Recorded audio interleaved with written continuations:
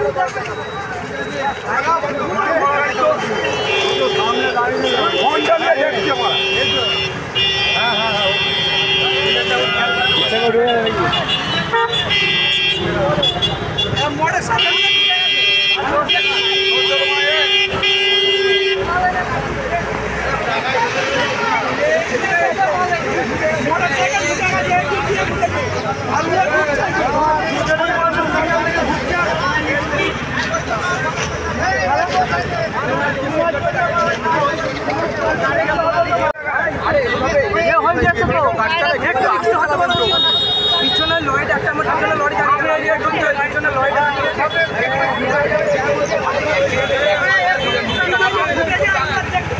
তোমার আগে দেখতে হবে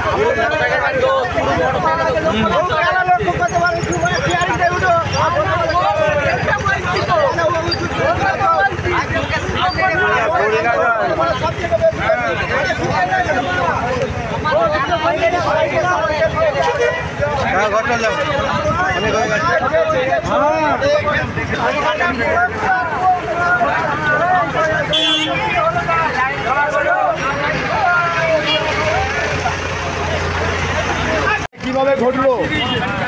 কীভাবে ঘটলো? হ্যাঁ? হ্যাঁ।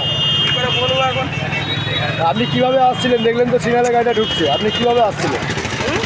আপনি তো কীভাবে আসছিলেন গাড়িটা আমার আমি গাড়িটার পিছনে দাঁড়িয়েছিলাম। হ্যাঁ। তো আমি দেখলাম যে এই যে এই যে এই যে জায়গাগুলো থেকে এইগুলোতে দাঁড়াবার জন্য আমি সামনে এসেছি। আমি দেখলাম এখানটায় দাঁড়াবো লরিগুলো ওই পিছনে আর একটা লরি লেগে গেছিল আমার পিছনে পিছনে নমস্কার তো দেখুন অ্যাকচুয়াল আমারও নাই ওনার কি করে গাড়িটা এগিয়ে গেল? তো ব্রেক মারা গাড়ি হঠাৎ করে এগিয়ে কী করে যায় সেটা আমি নিজেও বুঝতে পারলাম ব্রেক মারা গাড়ি কী করে এগিয়ে গেল? কতটা দুর্ঘটনা ঘটতো যদি আরেকটু হলে? বড় দুর্ঘটনা ঘটে আপনার নাম কি? আমার নাম অংশমান মিত্র বাড়ি কোথায় আপনার? মুর্শিদাবাদ। মুর্শিদাবাদ। ঘটনাটা কি ঘটেছিল কালীপুরে? ঘটনাটা গাড়িটা সিগনালে দাঁড়িয়ে আছে।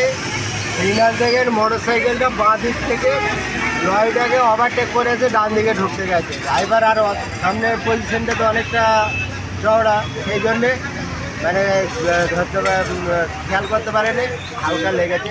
দোষকার আর দোষ হচ্ছে মোটর সাইকেল আর মানে মোটর সাইকেলটা কি পুরো লরির চাকায় ঢুকে গেছিল একদম? মোটর সাইকেলটা হ্যাঁ যদি ও সিং মানে মেদিনীপুরের রোডের দিকে যেত তাহলে মোটর সাইকেল হলে এখনই মারা এখনই মারা যেত? মানে বড় দুর্ঘটনা ঘটে যেত? এই অবস্থায় কোনো আঘাত হয়েছে নাকি? কোনো চটচট হয়েছে নাকি? সামান্য তো হবে গাড়িতে পড়ে গেলে যেটা হয়। মোটর সাইকেল কারও কোথায় বাড়ি জানা গেছে? না না। এটা কোন জায়গা? এটা কালীপুর। আপনার নাম? রাজের আলী। ধন্যবাদ।